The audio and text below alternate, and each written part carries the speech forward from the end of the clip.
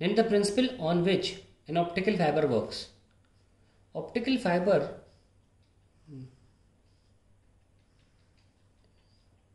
अक्सर transmission of signal में use होता है।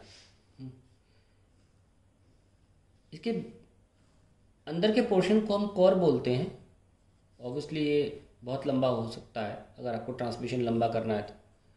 और बाहर की कवरिंग को हम बोलते हैं क्लैडिंग इस क्लैडिंग कोर के रिफ्रैक्टिव इंडेक्स को इस तरीके से बनाया जाता है कि अंदर का क्योंकि लाइट तो अंदर जाएगी यहाँ से angle of incidence towards the normal क्योंकि ये तो एयर था ये मीडियम है।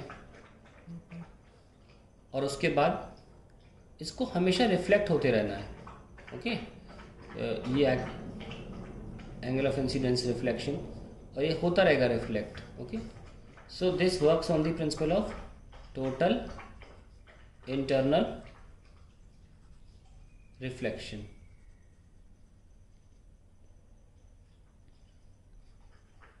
which of the two main parts of an optical fibre works sorry fibre has a higher value of refractive index जैसे कि मैंने बताया कि एक रिफैक्ट एक ऑप्टिकल फाइबर के दो पार्ट्स होते हैं। Outer covering call the cladding and inner part called the core TIR होने के लिए इनर पार्ट का इफ़ेक्टिव इंडेक्स ज़्यादा होना ज़रूरी है। तो कॉर का इफ़ेक्टिव इंडेक्स क्लैडिंग से ज़्यादा ही होगा।